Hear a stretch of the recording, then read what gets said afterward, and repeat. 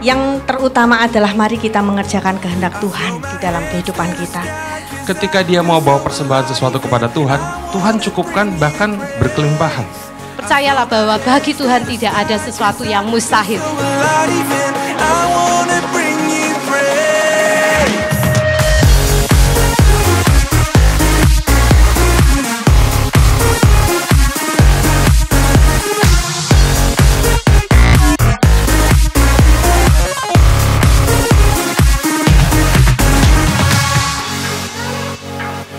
I've never felt so good.